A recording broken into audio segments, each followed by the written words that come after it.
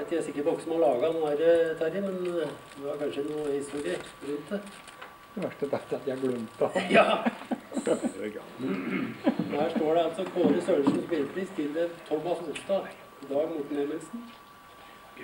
Dato om uh, signaturen hans Jan. Vær så god.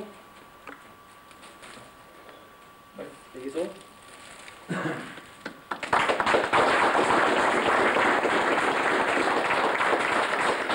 så er det da diplomen et lite kronebeløp. De kan uh, gjøre akkurat hva de vil med. Så blir det skattefritt. Så helt til slutt gratulerer på vegne av Stange kommune. Familien Sørensen, meg, styret og hele pakka. Og så håper jeg at de kan ta en liten uh, avdeling, dere som er tilhørere. Lykke.